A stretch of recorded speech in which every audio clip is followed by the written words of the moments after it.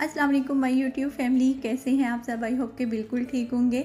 तो आज मैं आपके साथ शेयर कर रही हूँ मटन यखनी पुलाव की रेसिपी जो बहुत इजी है और बहुत मज़े का बनते हैं। तो चलें रेसिपी स्टार्ट करते हैं। यहाँ पे मैंने वन के जी मटन लिया है और उसमें मैंने फ़ाइव कप वाटर ऐड कर दिया।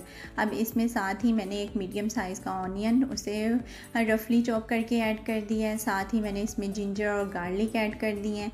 यहाँ पे कुछ हॉल स्पाइसेस हैं। आप इनको पोटली में ऐड करके वो भी ऐड कर सकती हैं, लेकिन यहाँ पे मैंने ऐसे ही डाल दिए हैं, क्योंकि बाद में मैं इसे स्ट्रेन कर लूँगी और साथ में मैंने टर्मरिक और सॉल्ट ऐड कर दिया तो बस अब इसे प्रेशर लगा दें तो आपकी यखनी तैयार हो जाएगी। अदर साइड हम राइस का मसाला तैयार कर लेते हैं। तो यहाँ पे मैंने एक लार्ज साइज़ का ऑनियन लिया है। तो इसे अब इसे गोल्डन ब्राउन कर लेना है। इसमें से मैंने कुछ ऑनियन सेपरेट कर लिया था।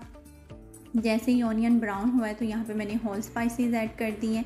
इनकी जैसे ही अच्छी सी खुशबू आना शुरू हो जाएगी तो मैंने जिंजर और गार्लिक का पेस्ट ऐड कर दिया है।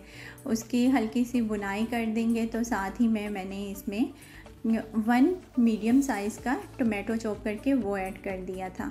अब इसकी बुनाई कर लें, जैसे ही टोमेटो हल्के से लाइक वो हो जाए सॉफ्ट हो जाए तो मैंने जो मटन सेपरेट किया हुआ था, वो डाल दिया और साथ ही मैंने स्पाइसेस ऐड कर दिए। ये ऐड करके इनकी अच्छी सी बुनाई कर लें। साथ ही मैंने यहाँ पे three tablespoon yogurt add कर दिया है।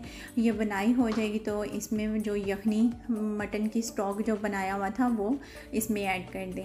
अब देखें जैसे ही बॉयल आना शुरू हो जाएगा तो मैंने इसमें टू कप राइस जो ऑलरेडी मैंने आधा घंटे पहले सोक किए हुए थे, वो ऐड कर दिए। अब इसको मीडियम टू हाई फ्लेम पे कुक कर लें।